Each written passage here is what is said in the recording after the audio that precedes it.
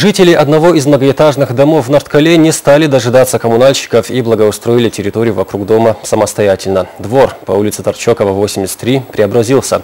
Свою лепту внесло и правление ТСЖ. С жильцами встретился Осман Казаков. Жильцы дома по улице Торчокова, 83 в Нордкале, а это в основном пенсионеры, еще месяц назад даже не предполагали, что смогут так преобразить свой двор.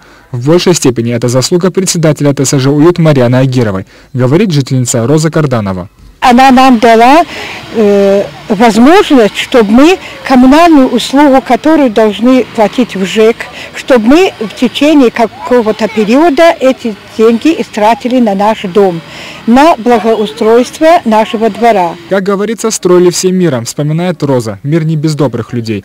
Предприниматель, с которым даже незнакомый предоставил стройматериалы, а на бирже водитель ЗИЛа помог с доставкой. И вот уже навес почти на стадии завершения. Когда не хватило денег, жильцы решили недостающую сумму доложить из собственного кармана. Деньги как могли собирали, и вот перед каникулом мы решили, э, чтобы наши дети, конечно, э, находились э, перед глазами вот здесь, вот, чтобы они играли, чтобы на виду были. Карусели и песочница для малышей, яркие клумбы и лавочки на радость взрослым. Хоть и сковываются перед камерой, но ни одни, ни другие не могут скрыть радости.